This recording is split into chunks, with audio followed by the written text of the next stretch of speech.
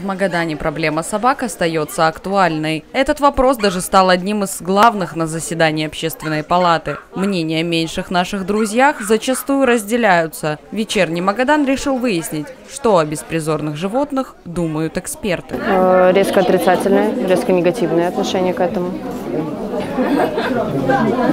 Потому что от бездомных животных очень много проблем. Это опасность для людей, потому что они кусаются и, как правило, распространяют всякие инфекции, потому что питаются они в основном на помойках, они сбиваются в большие стаи, то есть ну, людям ходить страшно. А, да и в принципе животным нечего делать на улице, это все халатность э, людей. Для того, чтобы беспризорных животных не было на улицах Магадана, нужно не выбрасывать питомцев на улице, отмечают эксперты. Самое главное – это э, эмоциональное состояние собаки, потому что от этого тоже очень много зависит. То есть психосоматику мы никуда не убираем.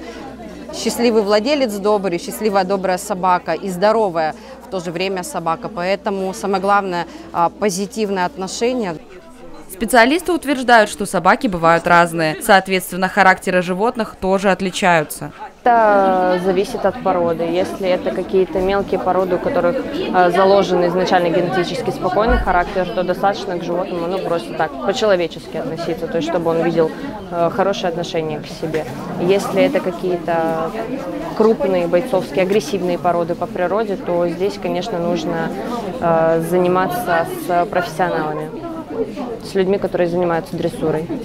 А как же случаи, когда животные избегают? Попав на улицы, они становятся опасными для общества. Приют не все, э, в приют не всех э, смогут забрать собак. Поэтому надо как-то решать вопросы. Вот, ну, как за границей, да, там определенный срок держат собак. Да, может быть, это гуманно, может, не гуманно, но э, они э, усыпляют их там, как-то щадяще все это делают.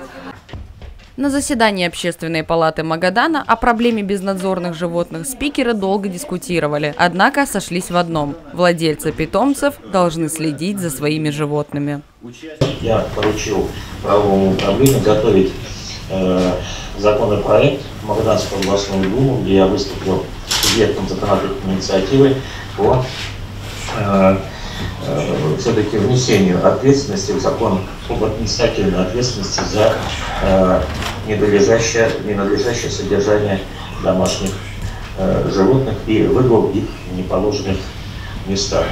Согласно статистике, менее трети трав наносят животные без владельцев. Поэтому были также рассмотрены инициативы по созданию базы данных домашних питомцев, а также введение занятий в образовательных учреждениях с целью донесения до юного поколения основных понятий взаимодействия с животными.